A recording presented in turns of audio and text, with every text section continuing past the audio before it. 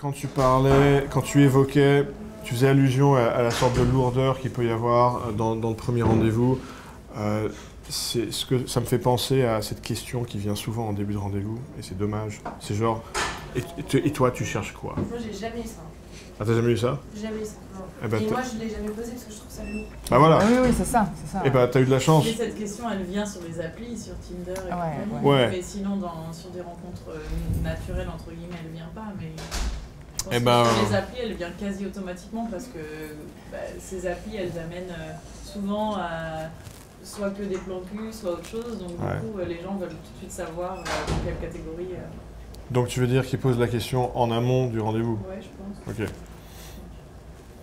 Et par contre, si c'est une rencontre qui se fait plus spontanément, en dehors des applis, peut- peut-être que...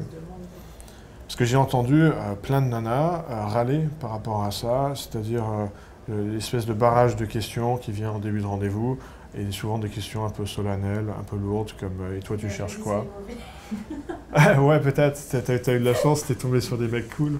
Mais j'ai une copine, euh, pour vous dire, son rendez-vous, il est arrivé, il avait imprimé sur une feuille A4 une liste de questions. Ouais, véridique. Et, et c'est une nana cool, euh, comme, vous, euh, et et, ouais, elle était horrifiée. Et n'empêche, ça vous fait rigoler, mais beaucoup de mecs, euh, dans mon expérience, certes, ils sont, ils sont pas allés jusqu'à imprimer la liste, mais ils font comme si ils avaient cette liste entre les mains et qu'ils étaient en train de dérouler ces questions.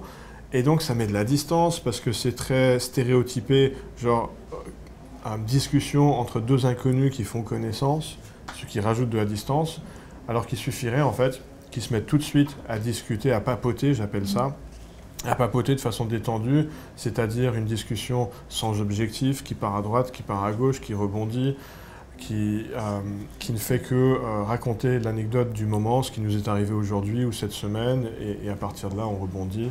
Et ça, ça va créer tout de suite une complicité et un sentiment de confort de connaître la personne, qui est très loin de cette liste de questions.